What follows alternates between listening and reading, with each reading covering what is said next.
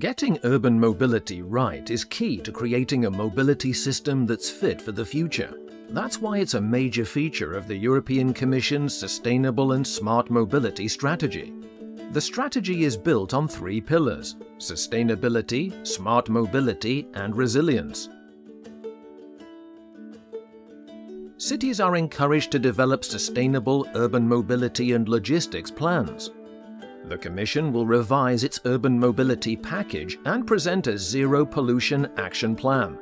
Digital solutions can support seamless multimodality and shared and collaborative mobility services.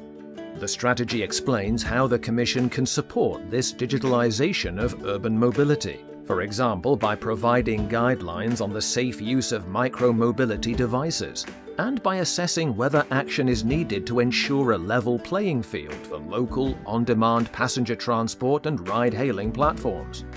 Sustainable urban mobility is also a key part of the European Climate Pact, a new initiative inviting everyone to participate in climate action and to build a greener Europe.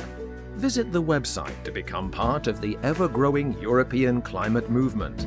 The Smart and Sustainable Mobility Strategy and Climate Pact both support the European Commission's Green Deal, which calls for a 90% reduction in emissions by 2050 while ensuring competitiveness, safety and accessibility.